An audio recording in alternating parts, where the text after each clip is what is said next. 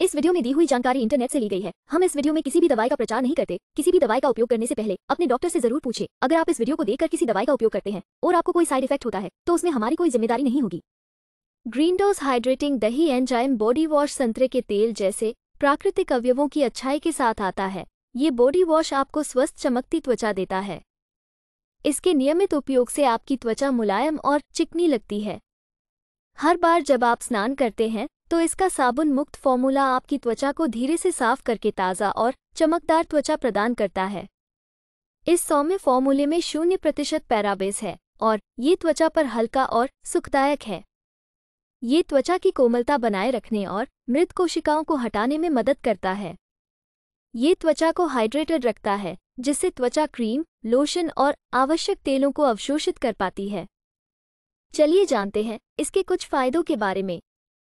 एक, त्वचा की बाधा में सुधार करता है और सफ़ाई करते समय लिपिड को बहाल करता है। दो, ये त्वचा को निर्जलित किए बिना साफ़ करता है। तीन, शुष्कता को दूर रखने में मदद करता है और इसलिए त्वचा को हाइड्रेटेड रखता है। चार, ये त्वचा की सतह से मृत कोशिकाओं को हटाने में मदद करता है।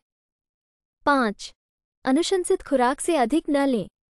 छह सीधी धूप से दूर ठंडी और सूखी जगह पर स्टोर करें।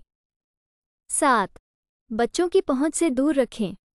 वीडियो को पूरा देखने के लिए धन्यवाद। अगर आपको वीडियो अच्छी लगी हो तो वीडियो को ज़रूर लाइक करें। साथ ही हमारे चैनल को सब्सक्राइब करके नोटिफिकेशन बेल को और नोटिफिकेशन पर सेट करें।